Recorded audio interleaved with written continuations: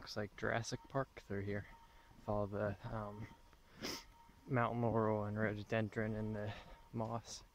It's weird. These boards are so slippery.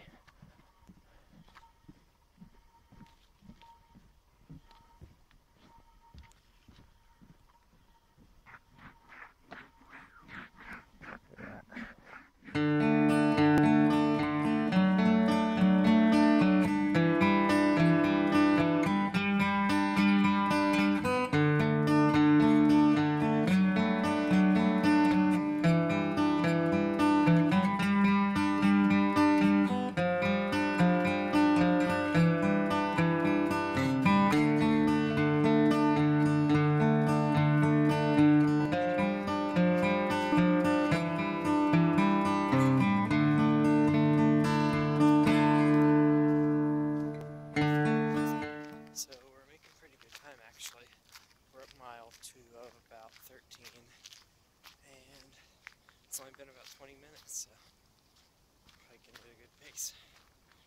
We're just um, connecting the Star Mill Trail here to the Moss-Hanne Trail and then we'll start our loop around the lake.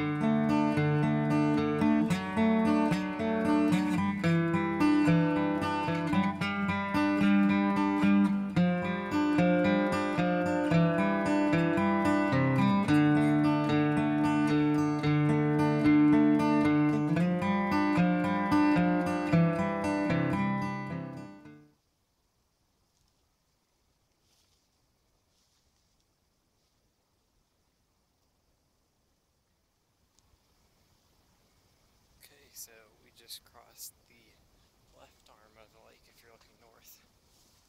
And now we are headed towards the airport through the bog here. These boards are still really wet.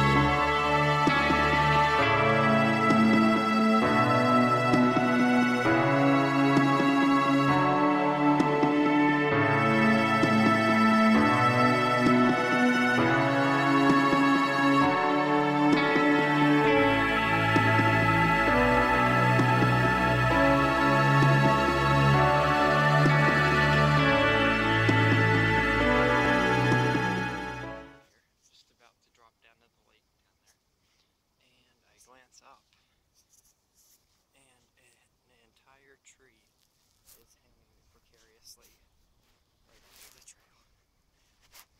So we're gonna walk by this very carefully and slowly and hope I don't get impaled.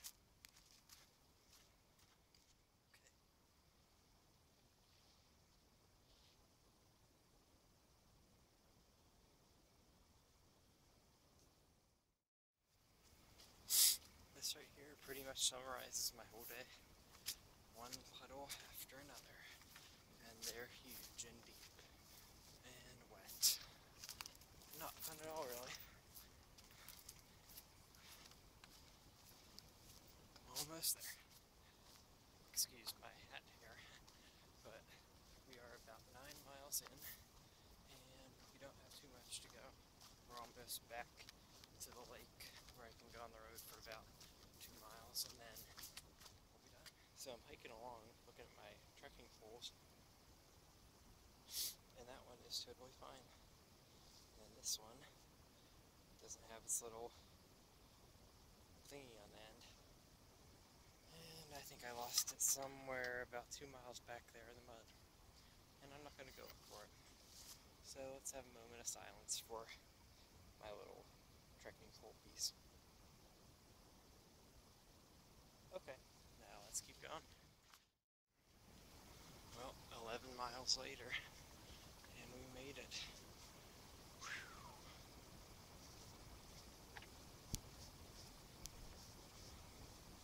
Really weird to see it not frozen right now. Normally, there's about 12 inches of ice on it.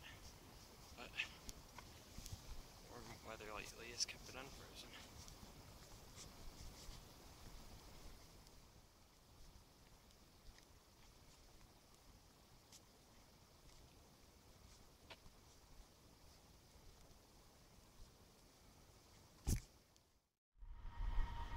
Right over there is my car. And that's where we started this morning. And we have since went down that way and went the whole way around both forks of the lake. Now we're over here walking back on the road around the rest of the lake, around the dam, back down the road on the far side there. And then we'll be done. This is the dam. It's right down there. And now I get to climb up this big hill. It's about 200 feet. But at this point I'm pretty tired. Then I'll go across the dam down there, around, back down to the bridge, another mile down to the car. Not too bad of a view. Now, go down.